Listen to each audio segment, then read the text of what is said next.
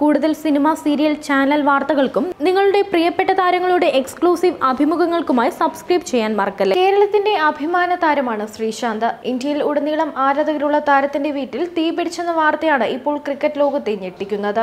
ശ്രീശാന്തിന്റെ കൊച്ചിയിലെ വീട്ടിലാണ് തീപിടുത്തം ഉണ്ടായത്. ഈ സമയത്ത് താരത്തിന്റെ ഭാര്യയും മക്കളും ജോലിക്കാരും മാത്രമാണ് ഇവിടെ ഉണ്ടായിരുന്നത്. ഇന്ന് പുലർച്ചെയാണ് സംഭവം നടന്നത്. പ്രമുഖ ക്രിക്കറ്റ് താരം ശ്രീശാന്തിന്റെ കൊച്ചി ഇടപ്പള്ളിയിലെ വീട്ടിലാണ് ഇന്ന് രാവിലെ രണ്ടു മണിയോടെ തീപിടുത്തം ഉണ്ടായത്. വീടിന്റെ ഒരു മുറിയും ഹാളും പൂർണമായും കത്തി നശിച്ചു എന്നാണ് വിവരം. വീടിന്റെ താഴത്തെ നിലയിലെ മുറിയിലാണ് തീപിടുത്തമുണ്ടായത്. ശ്രീശന്തിന്റെ ഭാര്യയും കുട്ടികളും ജോലിക്കാരുമായിരുന്നു ഈ സമയത്ത് വീട്ടിലുണ്ടായിരുന്നത്. ഇവർ മുകൾ നിലയിലായിരുന്നു. വീട്ടിൽ നിന്നും വലിയ തോതിലുള്ള തീയും പുകയും ഉയരുന്നത് കണ്ട അയൽവാസികൾ ഫയർഫോഴ്സിനെ വിവരം അറിയിക്കുകയായിരുന്നു തൃക്കാക്കര ഗാന്ധിനഗർ എന്നീ നിലയങ്ങളിലെ ഫയർഫോഴ്സ് സംഘം സ്ഥലത്തെത്തി തീ അണയ്ക്കുകയായിരുന്നു. തുടർന്ന് ശ്രീശാന്തിന്റെ ഭാര്യ ഭുവനേശ്വരി ദേവിയും കുട്ടികളും ഉൾപ്പെടെയുള്ളവരെ മുകൾ നിലയിലെ ഗ്ലാസ് തുറന്ന് പുറത്തെത്തിക്കുകയായിരുന്നു. വലിയ രീതിയിലുള്ള തീപിടുത്തമാണ് ഉണ്ടായത്.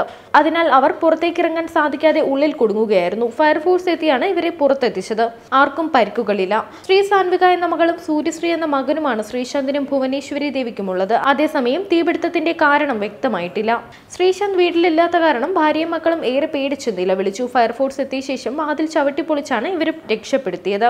ഐ പി എൽ ഒത്തുകളിയുമായി ബന്ധപ്പെട്ട് ശ്രീശാന്തിന്റെ ആജീവനാന്ത വിലക്ക് B C C I ombudsman കഴിഞ്ഞ ദിവസം ഏഴ് വർഷമാക്കി കുറച്ചിരുന്നു.